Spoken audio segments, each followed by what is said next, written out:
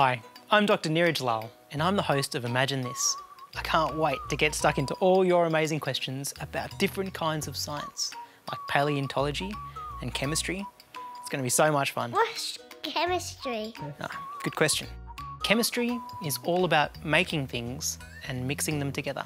And not just the things we can see with our eyes.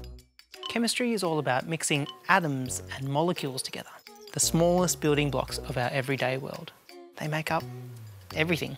They're like the ingredients in the recipe of our universe. And the way they mix together is called chemistry. Lots of people use chemistry every day, like scientists who mix chemicals together to make medicine, or farmers who blend compost and fertiliser together to make healthy soil. Chefs use chemistry every time they cook a delicious meal. In fact, you've used chemistry too, like when you add baking powder to a cake so it rises in the oven, or when you have a bath and make bubbles from soap and water. Chemistry can tell us why lemons are sour, and why fizzy water is fizzy, and why candles glow orange.